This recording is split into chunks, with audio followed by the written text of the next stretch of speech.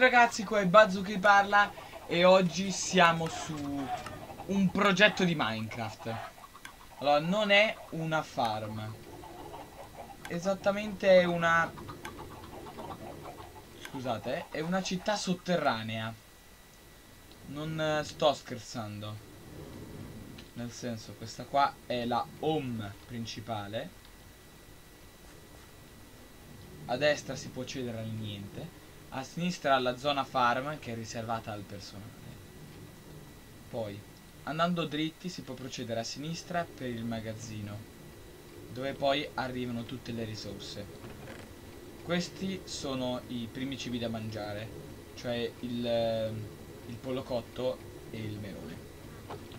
Mentre di qua c'è il pane, le carote, le, pa uh, le patate e le barbabietole che sono ovviamente, eh, non ovviamente, è la prima volta forse, che sono distribuite tutte eh, automatizzate, nel senso la parte che mi piaceva di più farvi vedere è praticamente quella delle farm.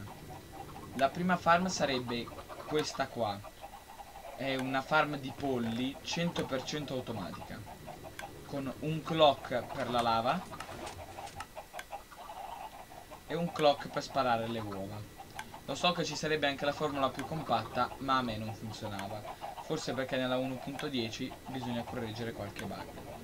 Però, comunque, fatto sta che procedendo si, si può vedere a destra la farm di meloni.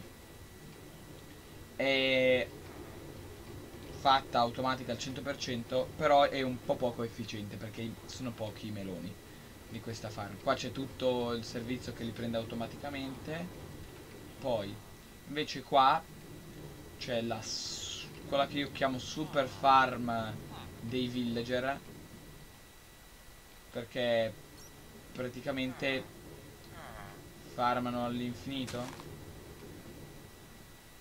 Si farma tutto nel senso.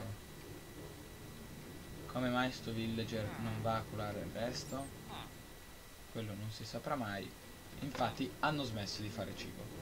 Comunque è 100% automatizzata con dei carrelli da miniera eh, con hopper che raccolgono tutto. Ma la parte più diciamo clou della cosa è questa lunghissima e ripeto lunghissima serie di hopper con un sistema di smistamento e di autocottura delle patate. È vero non sto scherzando. C'è l'autocottura delle patate qua. Qua arrivano le solo le patate qua arrivano solo le patate. Qua invece passano tutti gli altri oggetti come pane eccetera. Questo avviene grazie a una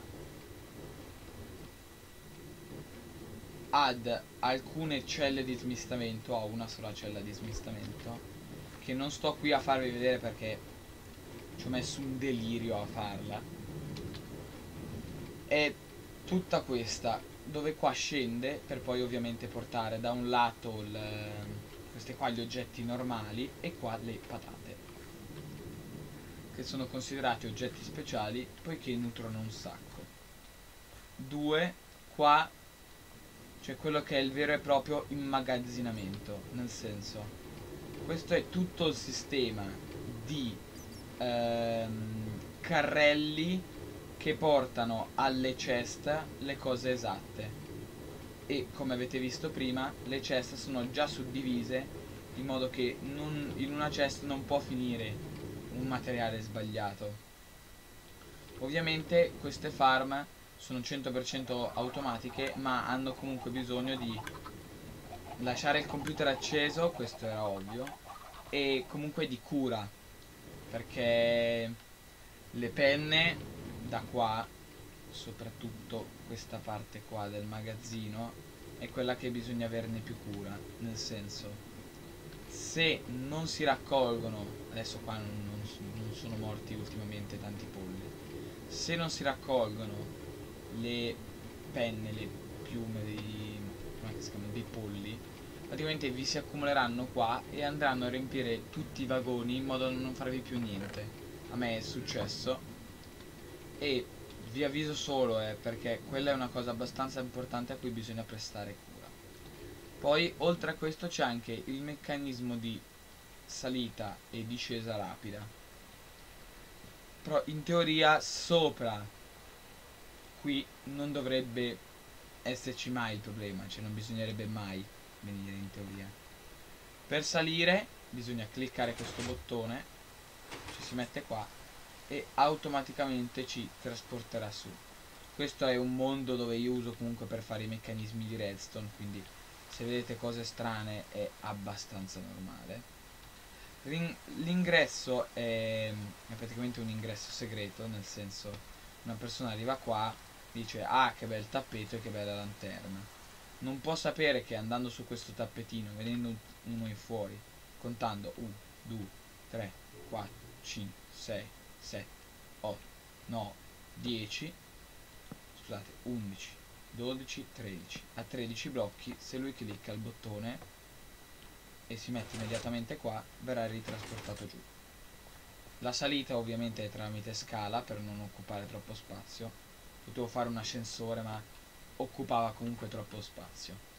La discesa rapida è tramite slime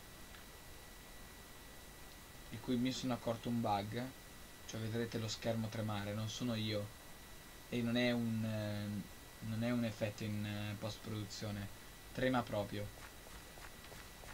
Questa qua è un po' la sala principale poi procedendo avanti si può incontrare una specie di laboratorio della strega con il libro dell'incantagione, un sacco di librerie, un tavolino abbastanza bello, un calderone e un alambico. Poi, procedendo ancora più avanti, qua si troverà la stanza, praticamente quella del personale, dove si potrà comunicare con tutte le persone all'interno. Questo che è un piccolo orto nel caso la farma abbia dei gravi problemi e invece queste stanze sono ancora da realizzare. Scrivetemi nei commenti se cosa potrei aggiungere in questa città sotterranea che manca. Ci vediamo alla prossima e ciao! Questa è la mia pagina di fine video. Se vuoi vedere il video precedente, clicca qua. Se vuoi vedere la playlist di questa serie, clicca qua. Se invece ti vuoi iscrivere, clicca sulla mia faccia. Se invece sei su smartphone, vai nei link in descrizione o chiudi il video, vai sulla mia pagina e clicca sul bottone iscriviti. Se vuoi seguirmi, ci sono anche tutti i link dei miei social network sempre in descrizione. Ci vediamo al prossimo video e mi raccomando, mettete mi piace.